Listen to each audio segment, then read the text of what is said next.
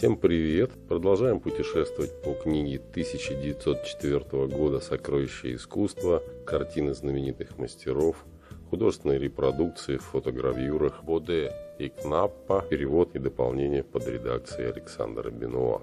Итак, начинаем. Джордж Ромный. Английская школа графиня Дерби. Английская леди представлена сидящей одиноко в густом лесу у ручья, точно трагическая муза или Диана, отдыхающая во время охоты. Портреты этого рода очень распространены. Они изобретены в литературном XVIII веке, и много их вышло из-под кисти Рейнольдса.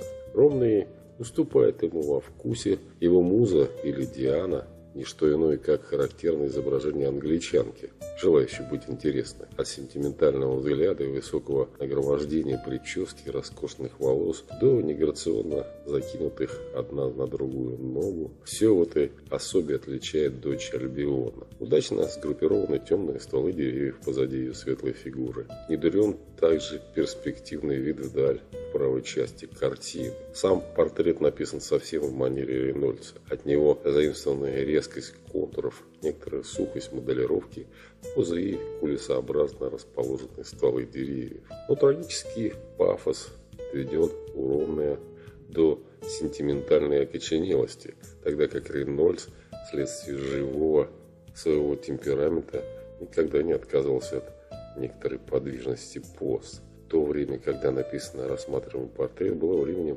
возрождения высокой трагедии.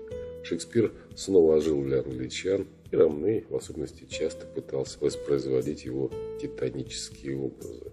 Но справиться с ним он был не в силах, и его слабая фантазия порождала продукты ребяческого полета в высшие духовные сферы – а не здравого представления о действительности. Так, например, он написал картину «Шекспир. Дитя», окруженное страстями, которая в свое время возбуждала восторг, а теперь кажется детски наивной. На место мифологических нимф и сивил эпохи Рококо явились на сцену и заполнили искусство героини романтической литературы. После непродолжительного порыва к чистому искусству образных представлений – школы Гейнсбора и Рейнольдса утратили силы соперничестве с реалистической живописью. Вначале никто не хотел слушать призывы пейзажиста Констебля. Назад, назад к природе. Но потом этот призыв возымел действие. Духовная жизнь вместе с подъемом литературы в Германии вступила на новый путь. Человечество надо сперва подняться ввысь, и уже затем снова спуститься к источнику природы, чтобы почерпнуть из него силу для нового подъема к высшим идеалам.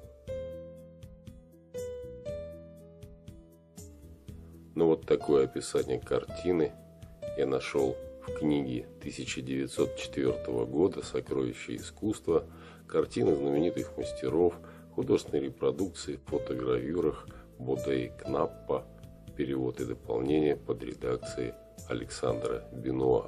Пока-пока, до свидания.